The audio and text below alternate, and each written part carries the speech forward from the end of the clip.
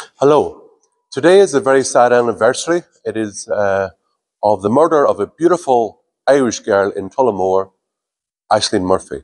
Send my condolences to her family and friends and uh, children who she taught. Ashling Murphy would be alive today if it wasn't for EU open borders and unvetted immigration into Ireland.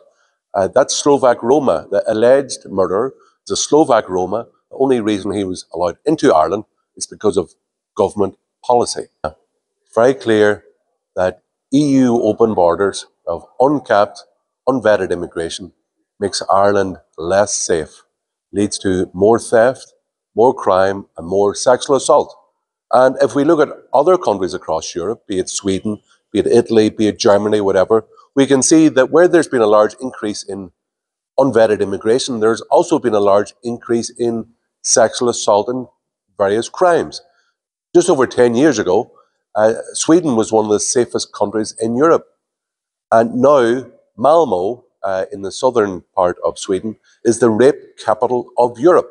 Now, there's a relationship, a causal relationship between uh, unvetted immigration of young males into society, especially those of uh, an Islamic background, uh, those who believe in what, they, what we saw in Cologne number of years ago, uh, New Year's, uh, rape jihad. It's a way to humiliate the men and women of a country. And uh, anyway, it's part of their jihad is to make people submit to their culture.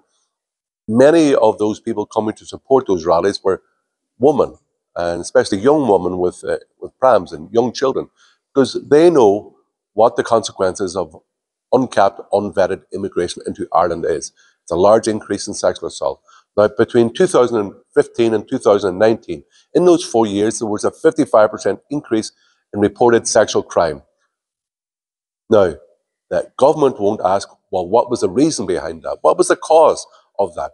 But if we look at other countries across Europe, it's very clear what that cause was. It was uncapped, unvetted immigration of young males into society. Not only that, but it put it as, out a signal to the rest of the women in the country that Ireland was less safe. Now, I see that RTE presenter Kathryn Thomas now says that she refuses to go out jogging in the early morning and late evening when it's dark because out of fear, out of fear that she would be the next um, Ashling Murphy. Just shouting on the street isn't enough. We must send a political message to the politicians of Ireland that a uncapped, unvetted immigration into Ireland is completely unacceptable. It's unsafe. The, the way to send a signal to these people is to vote for the Irish Freedom Party. I ask you to come join those rallies today across across Dublin. Most of them are, if not all, are at five o'clock. Uh, participate peacefully.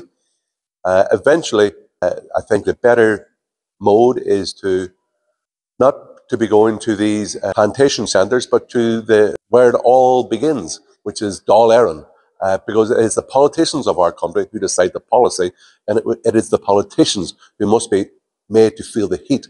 And if you want a kinder, gentler, and safer Ireland, come attend those rallies in Dublin today. Uh, please donate, uh, support, even join the Irish Freedom Party.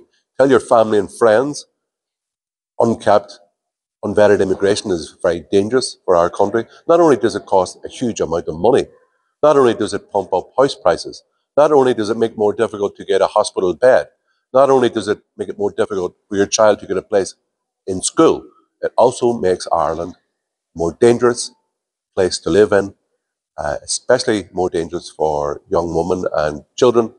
If you want Ireland to be a kinder, gentler, and safer place for yourself and your children, vote for the Irish Freedom Party make politicians aware that you've had enough of free for all in immigration.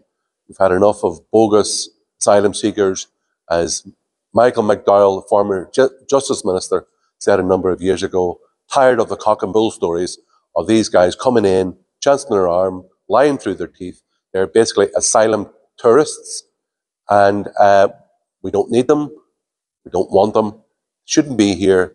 And those who came here illegally should be deported immediately. It would make Ireland a much safer place and it would cost the taxpayer a lot less money and all these bogus claims and legal challenges, etc. etc. My name is Herman Kelly. I'm president of the Irish Freedom Party. Go to Magadsa.